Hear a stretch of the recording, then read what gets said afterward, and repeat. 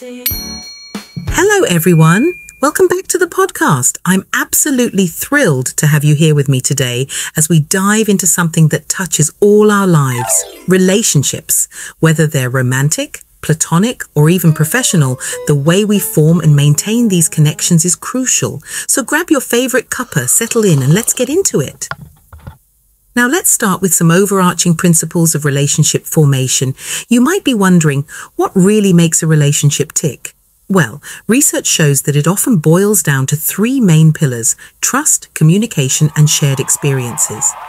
According to a study by the Journal of Social and Personal Relationships, 70% of individuals believe that trust is the most critical aspect of any relationship. Isn't that fascinating? But let's pause for a moment. How often do we truly evaluate the trust we have in our relationships? Do we take it for granted, or do we actively work to build and nurture it? Now moving on to communication. It's often said that communication is the lifeblood of any relationship.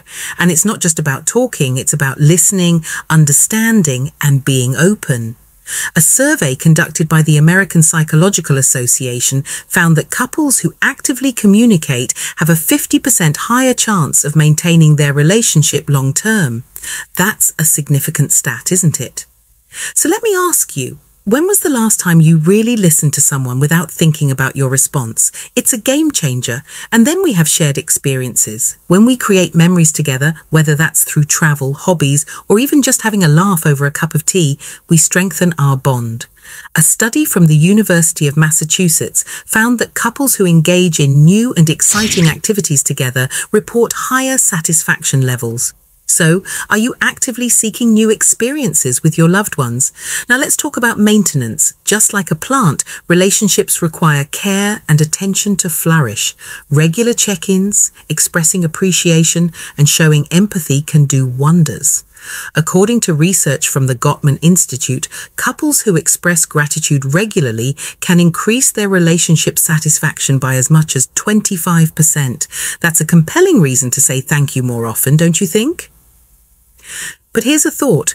How often do we overlook the power of appreciation in our daily interactions?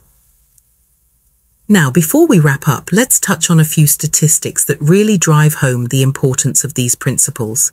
Did you know that 50% of marriages end in divorce? But here's the silver lining. Couples who attend relationship workshops and engage in open communication are 50% less likely to split.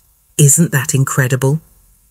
So, as we navigate through our relationships, let's remember these principles trust, communication, and shared experiences. They're not just buzzwords, they're the foundation of lasting connections. Thanks for tuning in today. I hope this chat sparked some reflections on your own relationships.